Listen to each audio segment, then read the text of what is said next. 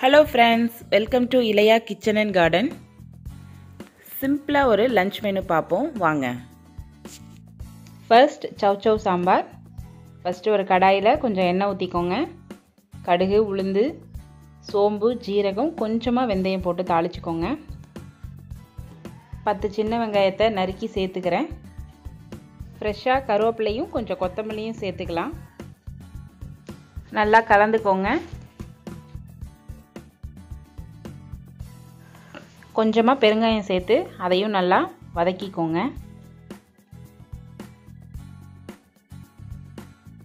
சின்ன சைஸ் தக்காளி ரெண்டு சேர்த்துக்கிறேன். தக்காளி நல்லா கரையிற அளவுக்கு நல்லா வதக்கிக்கோங்க.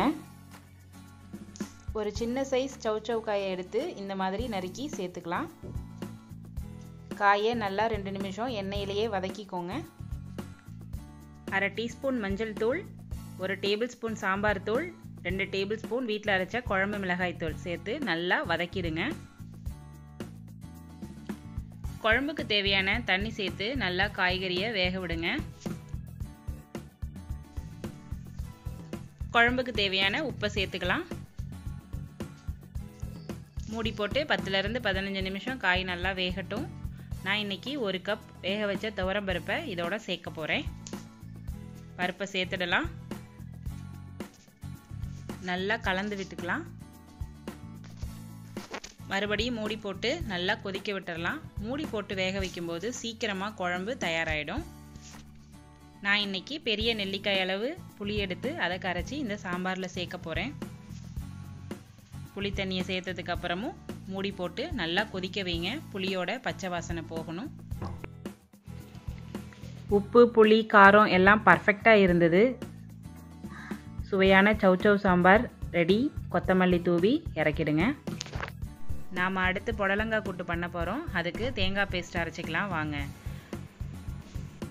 மூணு கீத்து தேங்காவை சேர்த்துக்கோங்க. ரெண்டு பச்சை மிளகா அரை டேபிள் ஸ்பூன் ஜீரகம் சேர்த்து நல்லா அரைச்சிக்கோங்க. தேங்காய் பேஸ்ட் இப்படி அரைச்சா போதும். ஒரு கப் பாசிப்பருப்பு ரெண்டு புடலங்காய் சேர்த்து இந்த மாதிரி வேக வச்சு எடுத்திருக்கேன். தண்ணி அதிகமாக இருக்கக்கூடாது. தண்ணி கரெக்டாக அதுலேயே செட் ஆகிற மாதிரி தண்ணி ஊற்றி வேக வச்சுக்கோங்க. ஒரு கடாயில் எண்ணெய் சேர்த்து கடுகு உளுந்து சேர்த்து தாளிச்சுக்கோங்க. ஒரு பெரிய வெங்காயத்தை பொடியாக நறுக்கி சேர்த்துக்கோங்க. ஃப்ரெஷ்ஷான கருவேப்பிலை சேர்த்துக்கலாம். வெங்காயம் பச்சை வாசனை போகிற அளவுக்கு நல்லா வதக்கிக்கோங்க. கொஞ்சமாக பெருங்காயம் சேர்த்து அதையும் நல்லா கலந்து விட்டுக்கோங்க. மஞ்சள் தூள் சேர்த்து வேக வச்ச புடலங்காயும் பாசிப்பருப்பு கலவையை இந்த வெங்காயத்தில் சேர்த்துடலாம். வெங்காயத்து கூட அதை நல்லா கலந்து விட்டுடுங்க. நல்லா கலந்து விட்டதுக்கப்புறம் ஒரு அஞ்சு நிமிஷம் வேகட்டும். பிறகு இந்த தேங்காய் கலவையை சேர்த்துடுங்க. தேவையான அளவு தண்ணியும் சேர்த்துக்கலாம். நல்லா கலந்து விட்டுக்கோங்க. அடி பிடிக்கும். இந்த கூட்டுக்கு தேவையான உப்பை நான் இப்போ தான் சேர்க்க போகிறேன் அதனால் கூட்டுக்கு தேவையான உப்பு சேர்த்துக்கலாம். நல்லா கலந்து விட்டுக்கோங்க. ரொம்ப டேஸ்ட்டாக இருக்கும் இந்த புடலங்காய் கூட்டு. அஞ்சு நிமிஷம் நல்லா வேகட்டும். கொத்தமல்லி தழை தூவி இறக்கிடலாம். எங்கள் வீட்டோட சிம்பிள் லஞ்ச் மெனு சவுச்சவ் சாம்பார் புடலங்காய் கூட்டு மாம்பழம் தயிர். இந்த சிம்பிள் லஞ்ச் மெனு பிடிச்சிருக்குதா? பிடிச்சிருந்ததுன்னா லைக் பண்ணுங்கள் ஷேர் பண்ணுங்கள் கமெண்ட் பண்ணுங்கள் மறக்காமல் சப்ஸ்கிரைப் பண்ணுங்கள் தேங்க்யூ ஃப்ரெண்ட்ஸ்